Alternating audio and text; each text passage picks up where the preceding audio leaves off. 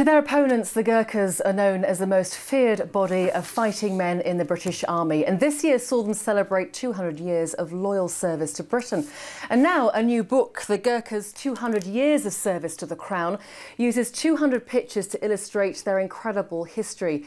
And here to tell us about it is the book's author, Major General Craig Lawrence. Thank you for coming in. It is a, a, wonderful book, and I'm just wondering if you can tell us a little bit about the history and, and, and how uh, about British rule in India and the Gurkhas and how they started. Yes, the East India Company, 1814, was expanding north, trying to increase its territories. The Nepalese were expanding to the west and to the east, and conflict was inevitable. On the 31st of October 1814, Major General Sir Rollo Gillespie, leading a force of 4,000 men against a defending force of 650 people, was killed.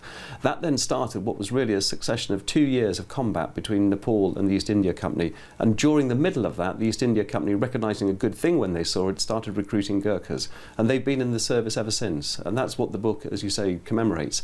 This picture here, for example, was taken in 1857 during the, uh, the Indian Mutiny when Gurkhas remained loyal to the East India Company and didn't mutiny along with the rebels.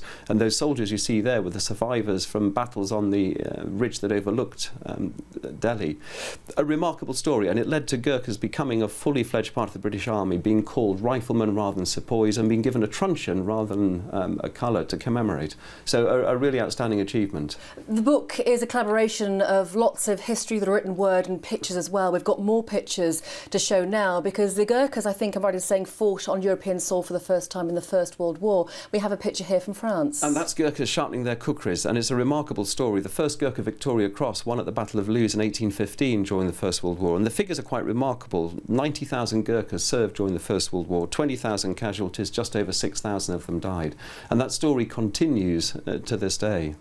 And they fought in many major conflicts, um, Afghanistan, the Falklands conflict as well. Yes, in all of those conflicts, they've been a part of every battle that the British have been involved in over those 200 years, and that's the most remarkable thing. This picture here, for example, is the Falklands in 1982, the 7th Gurkhas taking part as part of the task force that went down to liberate the Falklands. And that's a, a captured Argentinian um, anti-air gun, I think. The Gurkhas are sort of shoulder to shoulder with the British Army for many, many years. Why do you think the relationship has worked so well? I think they've got a lot in common between British soldiers and Gurkha soldiers. Gurkha soldiers are tough, they're resilient, they grow up in a hard country, environment is, is demanding, and they have shown loyalty and they have this tremendous camaraderie that British soldiers have as well. And again, here in Afghanistan, this picture taken on one of the Herrick missions in Afghanistan, they've been on every Herrick deployment uh, for the last, gosh knows how many years since we've been there. So they make an absolutely valuable contribution. They're very good at jungle warfare. This picture here shows we have a, a, a Gurkha battalion in Brunei that specialises in Gurkha warfare, in jungle warfare, and that transition to Afghanistan has been relatively straightforward for Gurkhas. The book is also raising money for the Gurkha Welfare Trust. I know you're heavily involved in that as well. And of course, in the news recently, we've heard so much about Nepal and the devastating earthquake there. Do we know what the situation is there at the moment? It's sort of gone out of the headlines a little bit. Yes, I mean, it, it, it still is quite remarkable the, the amount of damage that there has been. Eight million people displaced, uh, the huge number of casualties, eight and a half thousand people killed. The Gurkha Welfare Trust, which supports Gurkha soldiers and their families in Nepal, and ex-Gurkha soldiers particularly, has been absolutely involved in this international effort to relieve the symptoms of the, of the earthquake.